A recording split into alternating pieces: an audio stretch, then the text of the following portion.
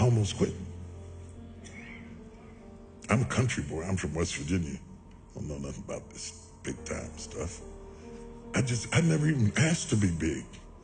I wanted to be effective, not famous. Famous is the consequences of being effective. I didn't know nothing about being famous and I didn't like it. And so there I was. And when you first knew, everybody attacks you first and figures you out later. Because though we say you're innocent until proven guilty, the reality is you're really guilty till proven innocent. I didn't know that then, and I was young, upstart. You have to understand that you're looking at a 60 year old man, but you're talking about something that's happening to a guy in his late 20s with little kids. And the first time I was in the Washington Post, the article was so vicious it made me nauseous.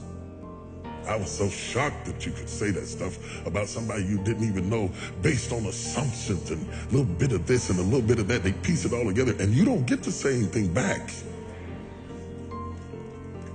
So I decided I don't want this. I was preaching for Pastor Bishop Donnie Meares, and I was nobody knew it because preachers can override their feelings and function.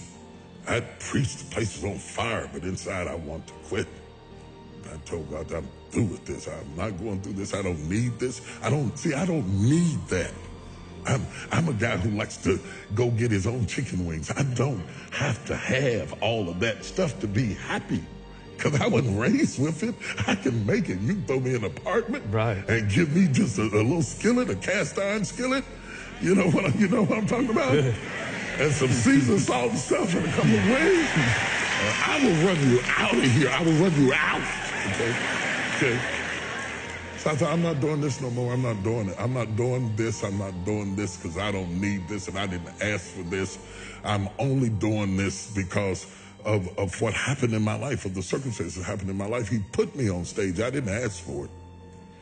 And when I saw how much it cost, I thought, you can have that right back here. You have that right back up in here. I don't need it. So I was mad inside and I was hurt. And uh, I stayed up in the fellowship with the pastors because I didn't want to go back to my room and sulk in my own sorrows. And they said, there's a lady downstairs waiting to see you. The service was over and the fellowship was over. The pastor was starting to leave. I was trying to outwait her. I thought she'd give up and leave. And when I finally came down the steps, she was there.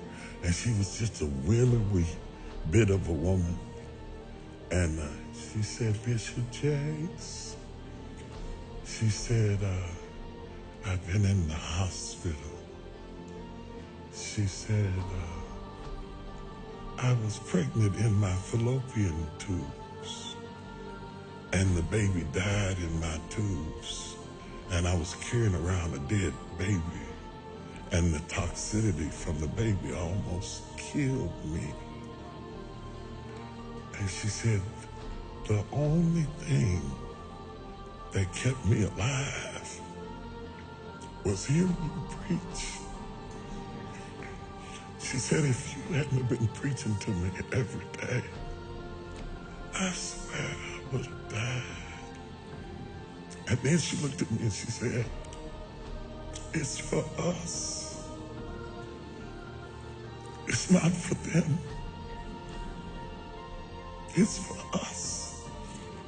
It hit me so hard. I didn't even get her name.